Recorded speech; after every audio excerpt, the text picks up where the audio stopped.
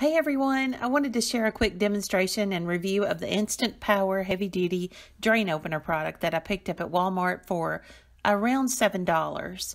I'll include an affiliate link below so you can go straight to it if you need to pick it up. But if you go in the store, this product in my store was located around the home improvement section where the paint, light bulbs, tools, things like that were.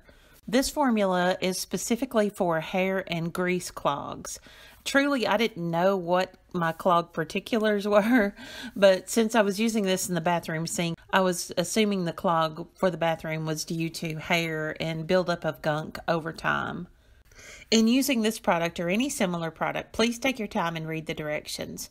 Although I'm telling you what my bottle states, you'll need to check your own bottle as it could be a newer formula, an older formula, or it just could be a different version. Be sure you have your safety goggles for eye protection as well as rubber gloves for protection of your hands. This is some serious stuff and safety is first. I wanted to show you that my sink was doing a very slow drain.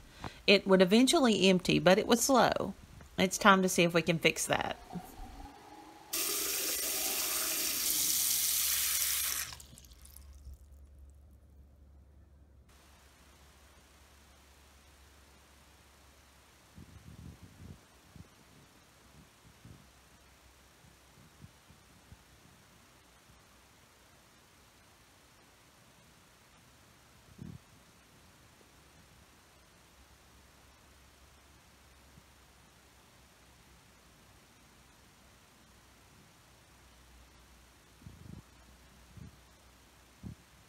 This product states that it's safe for all pipes and septic tanks when used according to directions.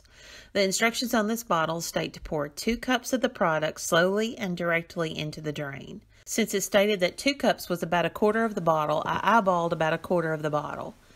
It says to wait an hour or that overnight really was best. I let it sit for about four hours and then I poured in some boiling water. Some sediment and gunky looking stuff came up into the basin and there was some bubbling occurring, but the sink didn't drain as well as it had been draining before I put this stuff in it.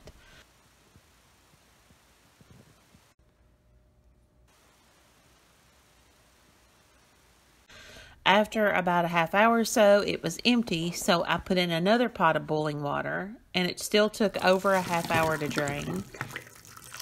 And I repeated the boiling water for a third time with no change.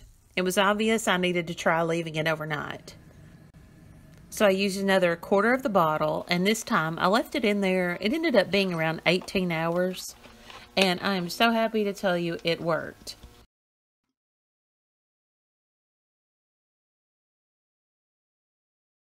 It has drained normally ever since. I have not had any other trouble, and I'm so happy with that. I'd love to hear your experience with this product and if it works for you.